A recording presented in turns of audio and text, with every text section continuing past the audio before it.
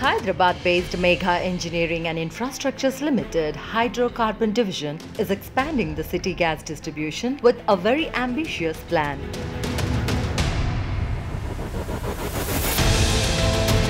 MEIL bagged the project approvals from Petroleum and Natural Gas Regulatory Board to distribute natural gas. MEIL has established Megha Gas to distribute natural gas for domestic, commercial, industrial and automobile sectors.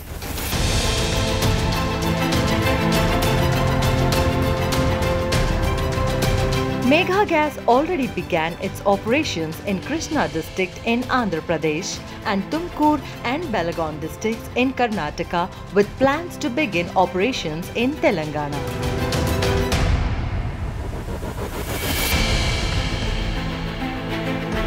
Mr. P. Rajesh Reddy, Vice President MEIL, said that PNG is directly supplied to domestic, commercial and industrial consumers through pipeline.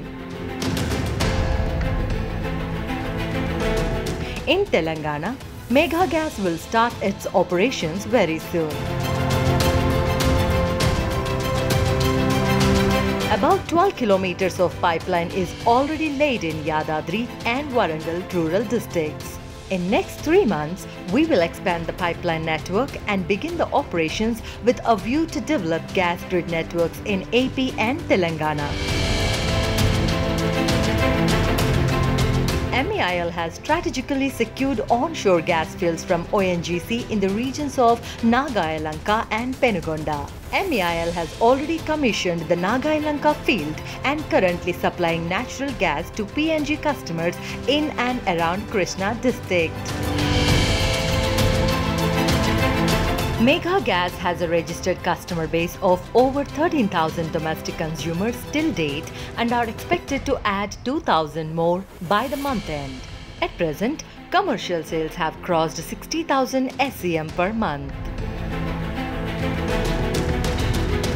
MEIL is expected to add 10 more commercial connections with a potential of 1 lakh SCM per month. The response for pipeline natural gas is overwhelming in Karnataka. Currently, in Tumkur, Megha Gas has registered over 12,500 domestic connections and is expected to add 4,000 connections by next month.